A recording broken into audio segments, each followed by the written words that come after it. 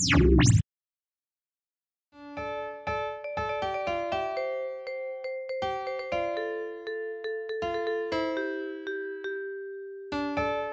everyone, TF Byrd here with Land Phil.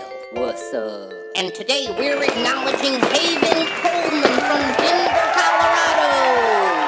Hey, you the bomb. Haven is a co-founder and co-director of the U.S. Youth Climate Strike, and she says we can stop the worst effects. So why shouldn't I try and save all you adults?